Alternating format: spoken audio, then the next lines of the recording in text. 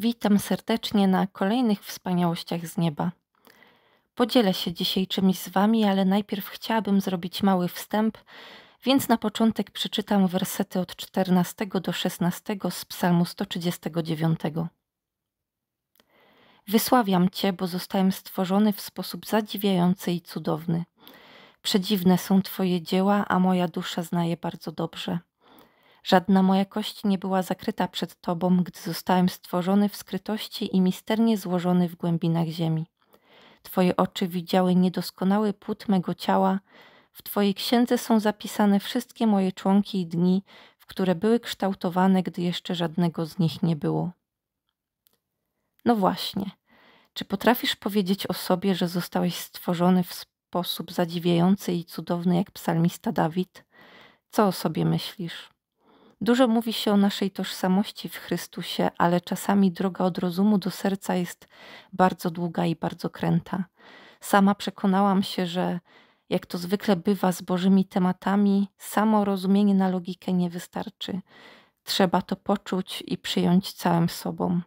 Po prostu musi nam to objawić Duch Święty.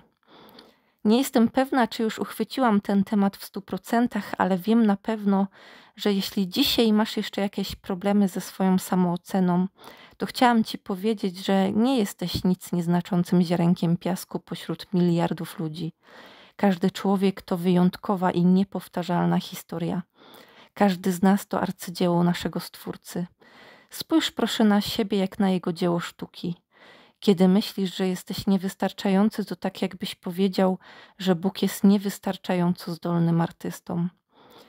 I nie szkodzi, jeśli dla ludzi ze świata nie jesteś atrakcyjny. Przypomnij sobie pierwsze kazanie apostoła Piotra.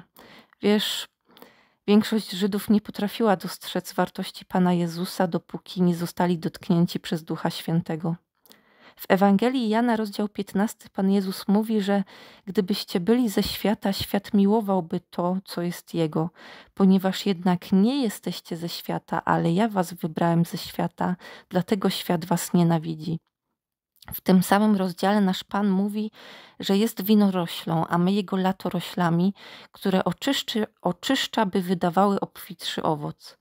Wiemy, że każdy z nas został zanieczyszczony przez ten świat, ale gdy stajemy się dziećmi Boga, On odkopuje to, co zostało zakopane, odzyskuje to, co zostało wykradzione przez szatana.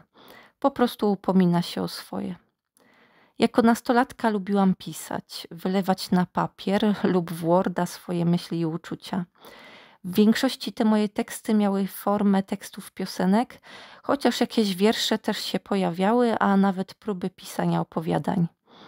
I Bóg upomniał się o ten mój, nazwijmy to, talent, głęboko zakopany talent.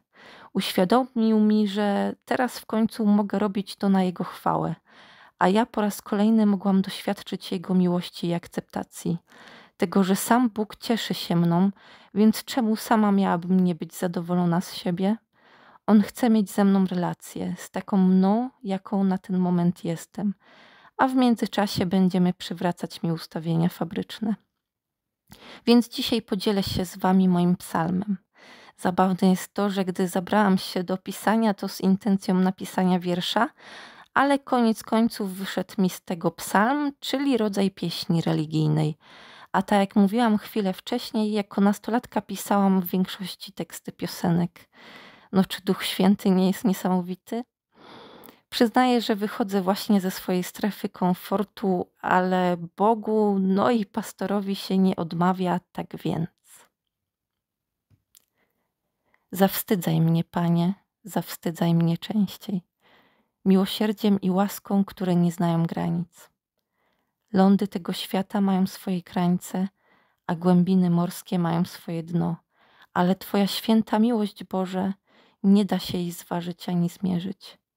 Kim jestem, że chwała przyszła w światłości, by walczyć o mnie do utraty tchu i nie powstrzyma Cię żadna siła, bo już zaplanowałeś moje zbawienie. Och, jak daleko się posuniesz, czy przerwiesz bieg starej już ziemi? Czy wręczysz mi bukiet z każdej z pięknych gwiazd? A niech tylko dusza pamięta, kto kocha najmocniej.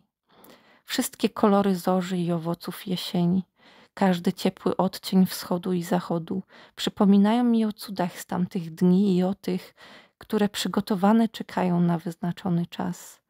Nie jestem w stanie i nie chcę oprzeć się tej bezwarunkowej miłości, bo jesteś jak czerwone wytrawne wino, dające uciechę tylko wybranym podniebieniom.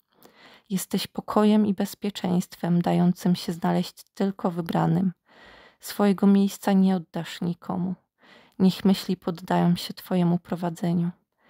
Zawstydzaj mnie, Panie, zawstydzaj mnie częściej, byleby tylko posłuszne było serce jednemu Bogu. Amen. Kochani, z góry dziękuję za każdy komentarz. Błogosławię Was z Panem Bogiem.